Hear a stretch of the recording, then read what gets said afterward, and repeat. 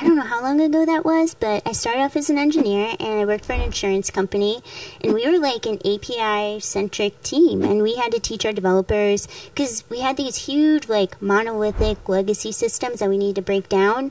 And none of the engineering teams really knew how to build or design APIs. And so our team was tasked with that. And it's, yeah, we, we worked with each team and then we worked with like all of their PMs and established best practices. And we used Postman on a daily basis. And For what? Like what? for what testing, features? for building and designing. This was probably back in 2018. Yeah, so it was mainly like a collection driven testing, or were you doing ad hoc manual testing with Postman? both, both. I would say both. Yeah. Did you put those in automated tests, like Yes. in any CI pipelines? Yep. Or Yeah. No, no, we didn't have control over our CI pipeline. Oh. That was like the next step. It was it was a it was legacy. is very old school systems.